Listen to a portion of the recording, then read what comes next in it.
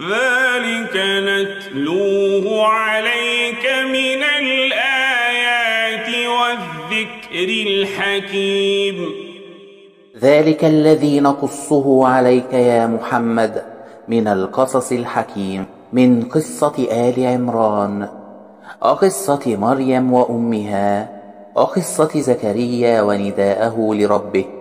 وقصة عيسى وما أجراه الله تعالى عليه من معجزات وما خصه به من كرامات.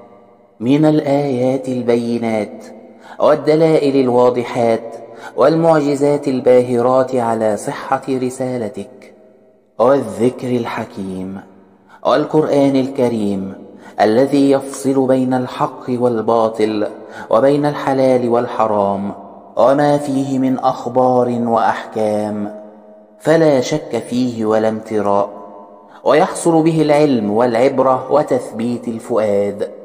ذلك نتلوه عليك من الآيات والذكر الحكيم.